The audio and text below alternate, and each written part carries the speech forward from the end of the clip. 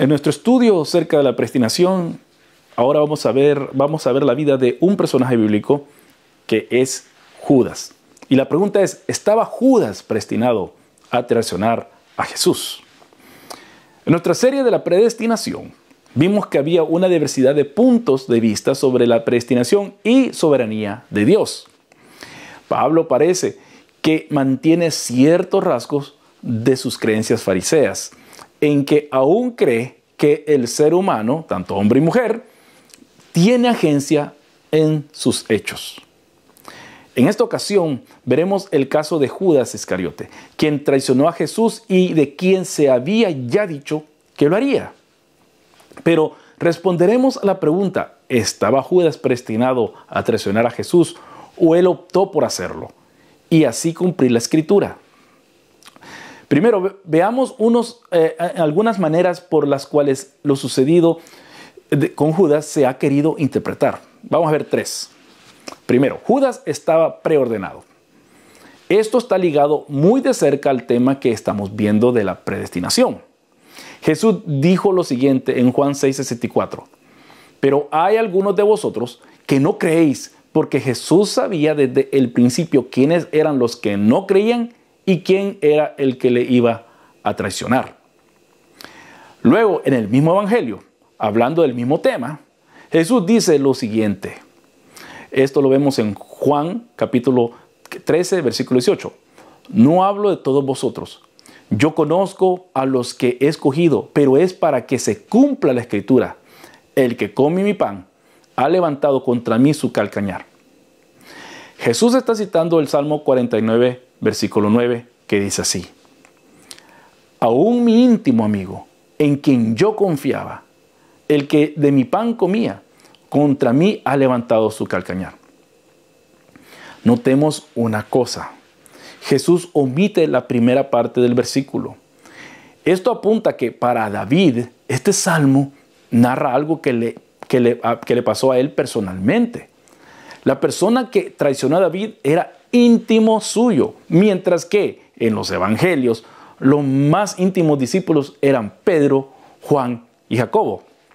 Judas jamás fue un íntimo a pesar de ser el tesorero, cosa que veremos a continuación. Pero antes, vemos cómo Jesús más tarde en el Evangelio de Juan ora por los suyos, excepto al que ya de antemano sería el que lo entregaría. Y esto lo vamos a ver en Juan capítulo 17, versículo 12. Cuando estaba con ellos, los guardaba en tu nombre, el nombre que me diste, y los guardé y ninguno se perdió, excepto el hijo de perdición, para que la escritura se cumpliera. Una vez más, Jesús apela al Salmo 41, 9, para dejar por hecho que la traición de Judas ya estaba preordenada. Pero eso aún no responde si él fue responsable de ese acto o lo hizo sin tener ninguna opción. La otra opción es Judas era ladrón. Esto lo leemos en Juan 12, capítulo 12, versículo 4 al 6, y dice, y Judas Iscariote, uno de sus discípulos, el que le iba a entregar, dijo, ¿por qué no se vendió este perfume por 300 denarios y se dio a los pobres? Pero dijo esto no porque se preocupara por los pobres, sino porque era un ladrón. Y como tenía la bolsa del dinero, sustraía de lo que se echaba en ella. Acá podemos apreciar la naturaleza caída de Judas. Judas no solo fue el que entregó a Jesús porque venía predestinado a hacerlo. Judas ya tenía ciertas características en su ser que evidenciaban a, que él solo vería por el bienestar de una sola persona. Judas esto lo hacía el candidato por excelencia para entregar a Jesús. Mateo apunta que Judas entregó a Jesús por su interés al dinero. Y aquí leemos en Mateo 26, versículo 14. Entonces, uno de los doce, llamado Judas Iscariote, fue a los principales sacerdotes y dijo, ¿qué estáis dispuestos a darme para que yo os lo entregue? Y ellos le pasaron 30 piezas de plata. Y desde, es, desde entonces buscaba una oportunidad para entregarle. Una vez más, esto se nos dice que estaba profetizado, citando a Zacarías capítulo 11, versículos 12 al 13.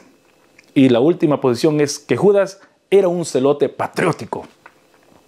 Esta posición cae más bien a psicoanalizar el personaje bíblico, Muchos llegan a, a esta conclusión dado que el sobrenombre de Judas es el Iscariote, que muchos interpretan que significa sicario y que posiblemente era parte de un grupo antirromano que asesinaba a personas con una daga o sicari.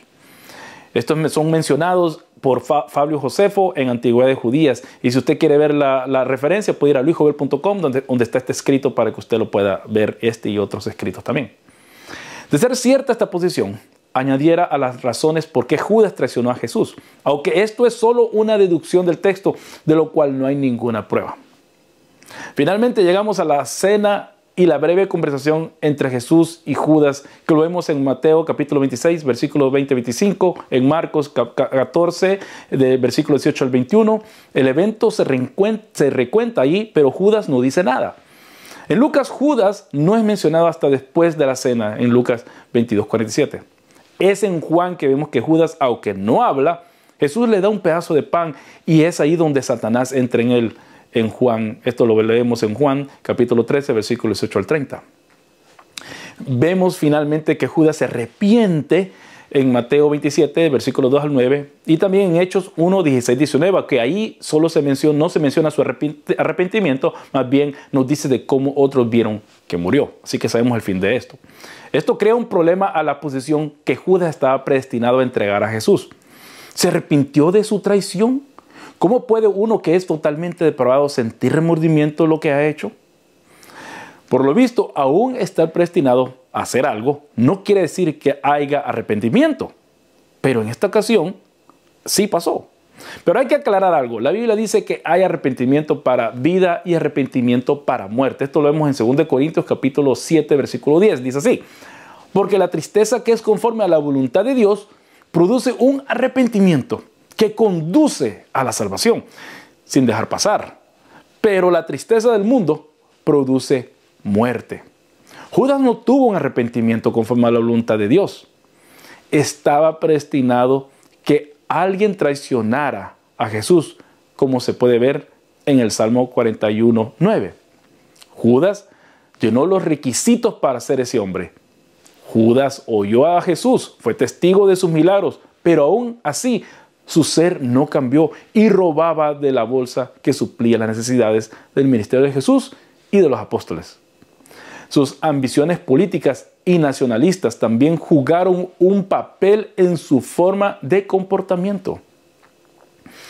Creer un predeterminismo duro que ve que las personas, no importando sus intereses o circunstancias, harán lo que ya está predestinado para ellas, no es lo que nos enseña la Biblia.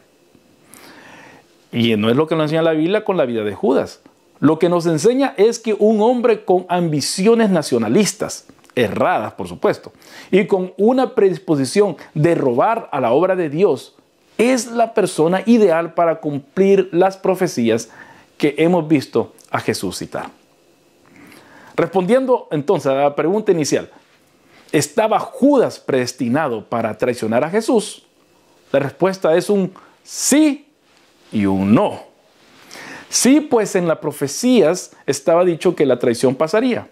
Y no, pues podemos ver que, personas como Judas abundaban en aquel, en aquel entonces y el día de hoy también, que podían tomar ese acto de traición. Esta es una forma balanceada y no forzada de poder ver el rol de la predestinación que mejor describe lo que vemos en la Biblia, específicamente en la vida de Judas. Yo espero que este estudio, corto estudio, le haya sido de edificación que si lo ha sido, le invito a que me deje un like aquí en este canal y también que se pueda suscribir aquí abajo y también eh, le dé un clic a la campanita para que le lleguen todo lo, que hago aquí, todas las transmisiones y todos los videos que subo. También le invito a ver las notas de mi video para que usted pueda ver eh, dónde, dónde encontrarme en las redes sociales, como también cómo poder aportar a este canal. Yo le invito a compartir esto para que esto, eh, este estudio, para que otras personas puedan también recibir este y otros estudios que yo estoy subiendo aquí.